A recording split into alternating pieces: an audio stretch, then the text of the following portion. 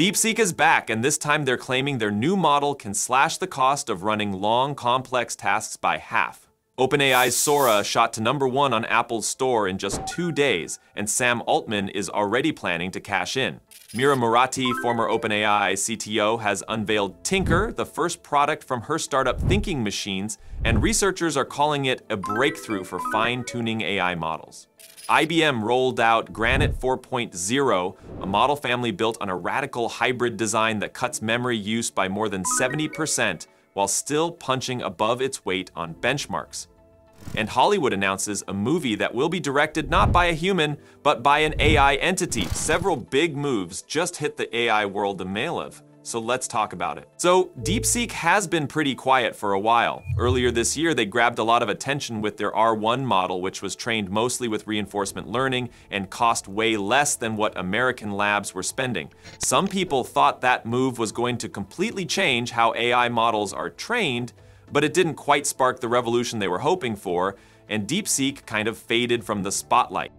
Now though, they're back and this time with something completely different. They just dropped an experimental model called V3.2X. And the big selling point is this. It can cut the cost of running long, complex tasks by as much as half. That's huge. Well, here's how they're pulling it off. They came up with a system they call sparse attention. Sounds technical, but the idea is actually pretty simple.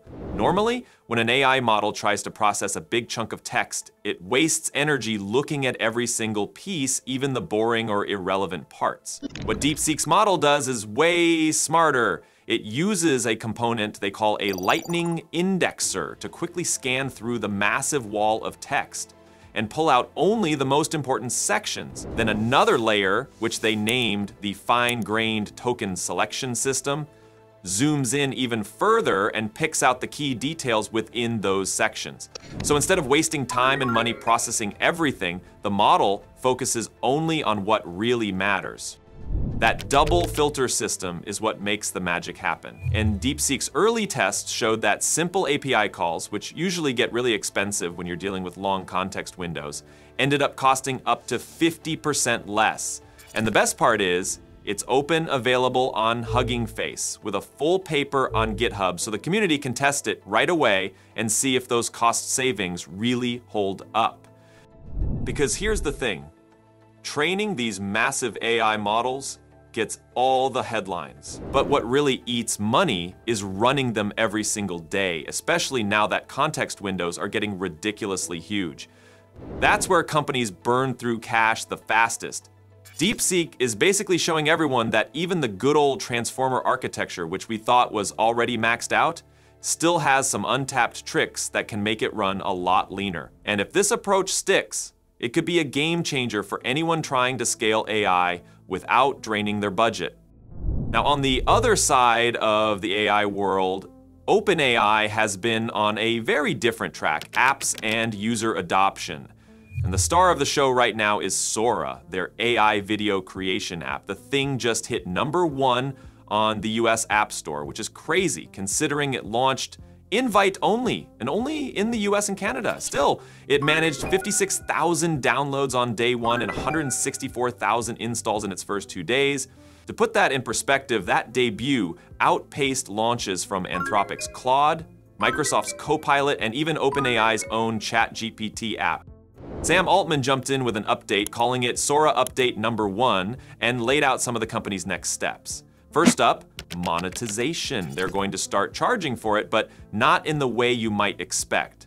Altman says they want to set up a revenue sharing system with right holders. Basically, if someone uses a copyrighted character or likeness, those right holders would get paid out. On top of that, they're building more granular control tools, so right holders can decide how their characters can or cannot be generated going beyond the current opt-in model OpenAI already runs for likeness rights. Altman framed it as interactive fan fiction, saying a lot of rights holders are actually excited, seeing it as a new way to engage audiences and even make money.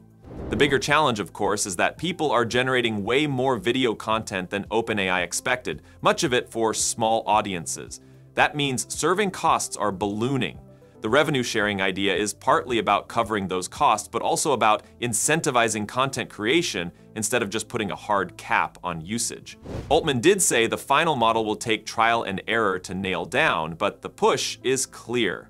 They want Sora to be compelling enough that adoption spreads quickly, even under a paid model. Over in the startup world, Mira Murati, who you probably know as the former CTO of OpenAI, has officially stepped out with her own company, Thinking Machines. And their very first product is here.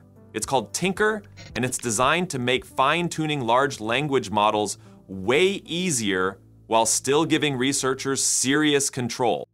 The best way to think of it is this. Tinker isn't some drag and drop tool where you throw in data and cross your fingers. It's developer grade, Python based, and it gives you granular control over everything. Training loops, loss functions, data pipelines, all the actual compute happens on Thinking Machines infrastructure, so you don't have to wrestle with GPUs or multi-node orchestration. As Andrej Karpathy put it, you keep 90% of the algorithmic control while ditching 90% of the infrastructure pain. And people are already putting it to work. Princeton's Gödel team used Tinker with LoRA to fine-tune theorem-proving models and hit 88.1% pass at 32 on Mini-F2F, jumping to 90.4 with self-correction. That's as good as full parameter fine-tuning with far less data. At Stanford, the Rotskoff lab trained chemical reasoning models on top of Llama 70B, boosting accuracy on IUPAC to formula conversion from 15% to 50%. For Berkeley's SkyRL group, Tinker made complex multi-agent reinforcement learning loops actually doable, and Redwood Research used it to train Qwen 332B on long context AI control tasks. Something Eric Gan said he wouldn't have even attempted without Tinker. The endorsements are piling up. John Schulman called it the infrastructure I've always wanted. Karpathy praised the design. Even the Ray co-founders said combining it with distributed frameworks could unlock huge scale. Tinker's in private beta right now, free to use, but usage-based pricing is coming. With $2 billion in funding from A16Z, NVIDIA, and Accel. Thinking Machines clearly wants to become a serious player, and Murati is framing it as an open, safe, adaptable alternative to the closed ecosystem she left behind. So now let's talk about IBM, because they've just unveiled Granite 4.0, a new family of open AI models with a pretty big twist. Instead of using only the standard transformer setup that powers most AI today, they mixed in a newer design called Mamba 2. The balance is 9 parts Mamba to 1 part Transformer, and that change alone slashes memory use by more than 70%. In plain English, companies can run the same heavy tasks with way fewer expensive GPUs, which directly means saving a lot of money. Granite 4.0 comes in four versions. The biggest one has 32 billion parameters overall, but only about 9 billion are active at once, making it lighter to run. Then there's a 7 billion version that activates around 1 billion plus two smaller 3 billion models, one hybrid, one fully transformer, for systems not ready for the hybrid setup.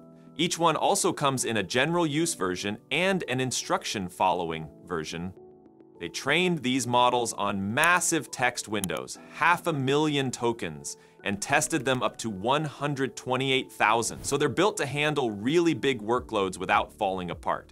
The performance checks look solid too.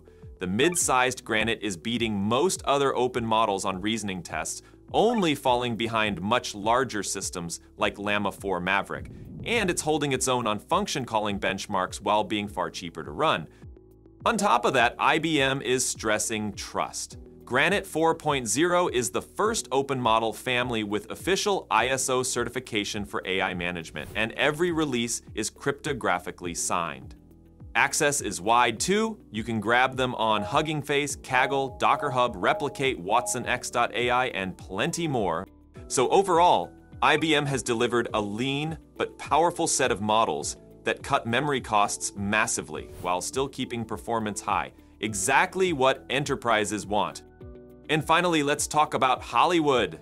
Italian producer Andrea Iervolino just announced what he claims will be the first film directed entirely by an AI. The movie is called The Sweet Idleness, and the director is an AI entity dubbed FellinAI. Iervolino will act as the human in the loop, supervising the project. The film's story matches the theme. It's set in a future of abundance where work is nothing more than ritual. The trailer already dropped and it looks fully AI generated with no human actors in sight. That makes sense since Iervolino recently introduced an AI actor called Tilly Norwood, which stirred up a storm. Emily Blunt called the idea terrifying, saying it kills human connection, while Whoopi Goldberg argued it's unfair to pit actors against something trained on the work of thousands of professionals. The Screen Actors Guild even declared Norwood isn't an actor at all, just a computer creation. But here's the thing if actors really believe AI performances will be trash and audiences won't connect to them, why are they so afraid? If they were sure AI couldn't outperform them, they'd just ignore it. The pushback itself shows they see it as a threat, which makes this even more interesting. Social media slammed the project as garbage, stars are denouncing it, agencies are uneasy, and audiences remain skeptical.